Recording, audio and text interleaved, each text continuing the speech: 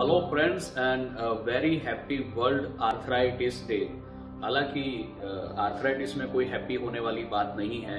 uh, वो तो जिसको होता है उसी को पता होता है कि उसमें कितना दर्द होता है कितना पेन होता है। तो आज हम कुछ आर्थराइटिस के बारे में बात करेंगे। दोस्तों आर्थराइटिस दो टाइप्स के होते हैं। एक प्राइमरी ऑस्टियो आर्थराइटिस जो कि उम्र के साथ होता है। जैसे कि हमारे घर में जो बुज़ुर्ग हैं जो बड़े हैं उनको 60 साल 70 साल की उम्र में जो घुटने में दुखावा होता है वो प्राइमरी ऑस्टियोआर्थराइटिस है। काफ़ी हद तक इसको रोकना बहुत सा नामुमकिन है। वो पहले से डिसाइडेड होता है किसको कब आर्थराइटिस की असर होने वाली है। पर हम उसकी असर को कम कर सकते हैं। अगर हम रेगुलर एक्सरसाइज करते हैं, अगर हमारा मसल बैलेंस अच्छा है पेल्विक गर्डन कोर मसल के अंदर, अगर हमारी बोन की क्वालिटीज अच्छी है तो जो आर्थराइटिस अगर आपको एक्सरे में ज़्यादा दिखाता है, वो उसकी असर आपको कम होगी कंपेयर टू आपके फ्रेंड जिसको आर्थराइटिस एक्सरे में कम दिखा रहा है, पर उनको दिखा दुखावा बहुत ज़्यादा है।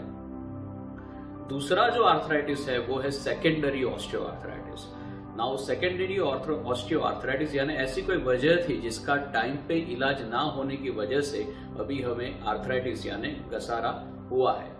घुटने में जो हम बहुत कॉमन देखते हैं, वो ये है कि घुटने के अंदर के जो लिगामेंट की इंजरी है या तो गद्दी फटी है तो उसको अगर टाइम पे हमने इलाज नहीं किया तो वो आगे जाके आर्थराइटिस में तब्दील हो सकता है।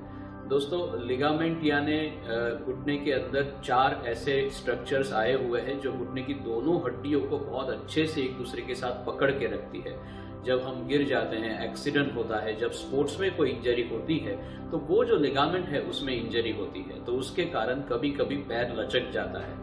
काफ़ी देर काफ़ी टाइम हम देखते हैं कि लोग उसको निग्लेक्ट करते हैं टाइम पे उसका इलाज नहीं करवाते हैं और दो साल, तीन साल, चार साल के बाद जबकि पेशेंट की उम्र बहुत कम है 45 साल है 40 साल है, तब वो आर्थराइटिस के शिकार बन जाते हैं।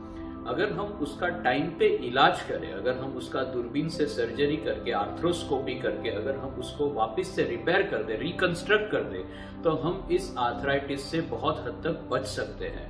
तो मेरा आज का आपको मैसेज यही है कि अगर आपको ये लिगामेंट सर्जरी लिगामेंट इंजरी है तो उसको टाइम पे इलाज करवा लीजिए, उसकी टाइम पे सर्जरी करवा लीजिए, क्योंकि ये जो आर्थ्रोस्कोपी है, ये जो दूरबीन की सर्जरी है, वो वो बहुत ही छोटी सर्जरी है और उसके रिजल्ट्स काफ़ी अच्छे हैं। दूसरी जो इंजरी है, घुटने के अंदर, वो है गद्दी फट जाना। जिसको हम मैनिस्कस इंजरी बताते हैं। दोस्तों, ये दोनों चीज़ों का एक बहुत डिटेल्ड वीडियो जो मेरा पेज है फेसबुक पेज उसके ऊपर है पंद्रह मिनट का, जिसमें ये सारी चीज़ें बहुत डिटेल में समझाई गई है, जो लिगामेंट इंजरी क्या है मैनिस्कल टेयर मैनिस्कस इंजरी क्या है। गद्दी यानी कुकर के अंदर जैसे रबर की रिंग होती है, वैसे घुटने के अंदर आई हुई रिंग जो कि बाहर की बाजू और अंदर, दोनों की बाजू होती है। अगर वो फट जाती है तो हमें दर्द होता है क्लिकिंग लॉकिंग ये सारे प्रॉब्लम्स होते हैं। अगर हमने उसको टाइम से, दूरबीन से आर्थ्रोस्कोपी से रिपेयर कर दे तो वो जो कुशन है, वो जो घुटने के अंदर आया हुआ एक पैड है, वो वापस से अपने, अपना काम करने लगता है और आगे जाके वो आर्थराइटिस को बहुत हद तक बचाता है। ऐसे काफ़ी सारे रीजन से अगर हमने टाइम पे इलाज कर दिए तो वो हमें आर्थराइटिस से बचाते हैं। तो आज वर्ल्ड आर्थराइटिस डे के मौके पे एक ही मैसेज में कहना चाहूँगा कि आर्थराइटिस को हो सके उतना आप अपने से दूर रखिए। जब भी अगर नी के अंदर, घुटने के अंदर या किसी भी जॉइंट के अंदर ऐसा कोई भी प्रॉब्लम हो तो टाइम से उसका इलाज करवा लीजिए थैंक यू